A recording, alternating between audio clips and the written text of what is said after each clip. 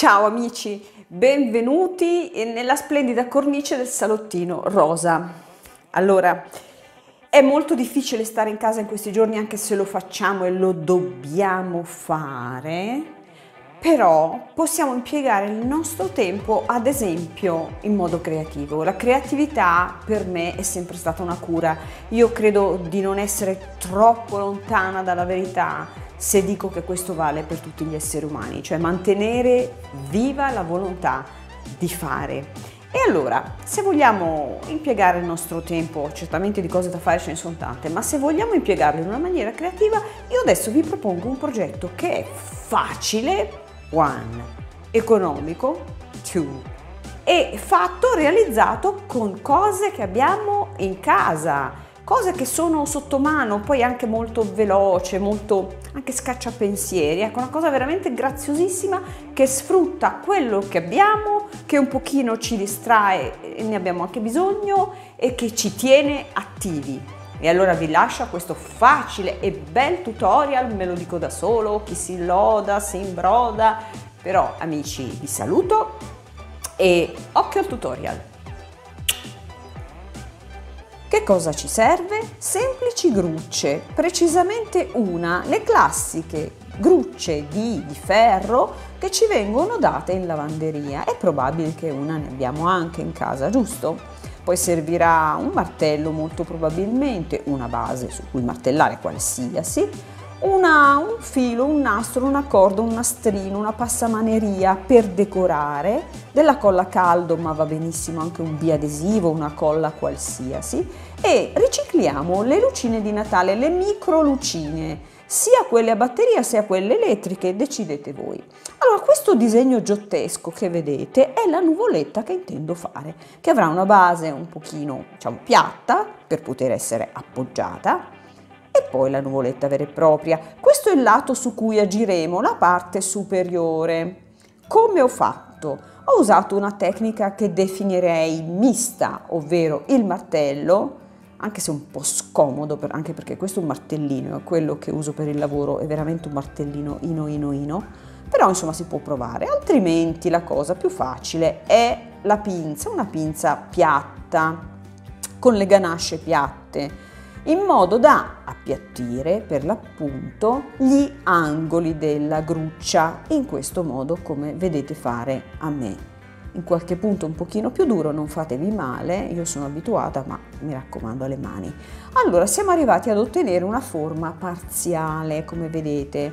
Ora si tratta di disegnare eh, il profilo della nuvoletta. Gli angoli li ho fatti con, li ho ricavati con la pinza ovviamente, mentre ho disegnato un po' con le mani, però ecco non è raccomandabile per chi ha problemi con le mani come me, però l'ho fatto lo stesso, e ho usato un oggetto di uso comune che abbia una forma arrotondata per avere questi, questi puff, li chiamerei, queste parti arrotondate. Quindi la pinza per fare l'angolo e poi qualcos'altro, un oggetto di uso comune dalla forma rotonda, rotonda scalare, insomma vedete voi, e ottenete la nuvoletta. Intanto io qui sto combattendo letteralmente con gli angoli e disegnando la forma, vedete?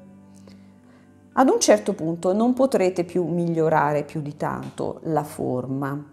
Ah, vorrei farvi vedere che io ho usato anche un mandrino per bracciali, però guardate è stato poco utile, l'ho inserito nel video, vi mostro un po', ecco, nel caso abbiate un oggetto simile più o meno, ma può essere un tubo, qualsiasi cosa, sì, ho usato anche questo. Molto scomodo però per fare le riprese, molto scomodo. E questo è un mandrino classico. Allora, vi dicevo che arrivati ad un certo punto bisogna per forza intervenire sul, sugli angoli, quindi appiattire gli angoli estremi della nuvoletta ed ottenere qualcosa di più arrotondato, vedete? Sempre con la pinza, la cosa più facile è una pinza con le ganasce piatte. Dopodiché da quell'angolo torno dentro, cioè faccio un angolo all'inverso, all'interno della figura, vedete? Ci siamo quasi, quindi questa è la forma direi definitiva, abbastanza soddisfacente. E poi faccio questo disegno, questa parte più piatta perché possa stare in piedi la figura. Allora, adesso passiamo alla decorazione che è facoltativa, però insomma ci sta molto bene. Io avevo questa corda colorata di giallo che è molto bella e, e ho deciso di utilizzare della colla caldo. Ripeto, se avete della mh, mm, colla di altro tipo, una presa istantanea va benissimo, va bene anche il biadesivo, piuttosto forte però, eh? Qui fisso l'inizio e poi comincio a girare.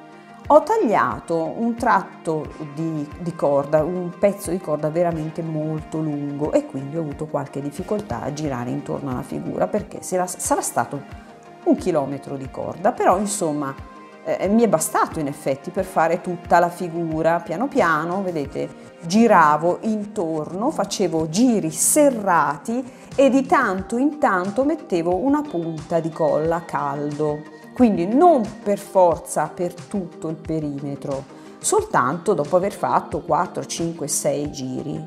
Vedete? Qui è molto accelerato, c'è anche il tavolo che balla un pochino, abbiate pazienza, ma eh, non si sa perché, eh, adesso questo tavolo è da sistemare. Allora gira che ti rigira, prende forma, anzi si decora la nuvoletta e guardate come sta bene con questo profilo giallo. È una corda, io adoro il giallo, poi è una corda anche molto bella.